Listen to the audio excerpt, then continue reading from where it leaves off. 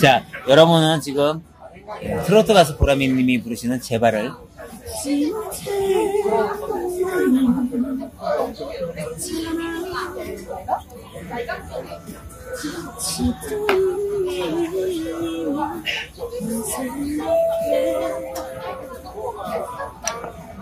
자,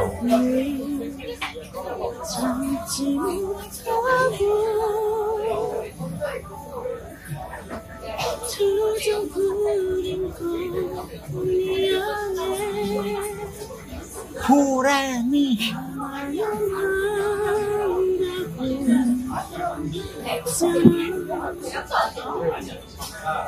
그렇게 웃고 웃었던 기억들이 다른 사랑으로 잊혀져 지워지는 게난 싫어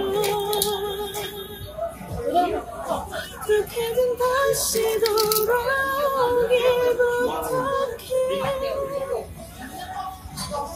처음으로 다시 돌아가길 바랄게. 기다릴게 뭐라 하지 마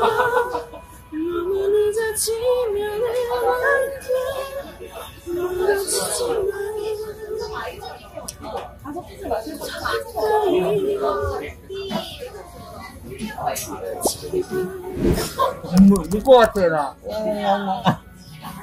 이, 이제도 불러주시면 안 돼요? 안 돼요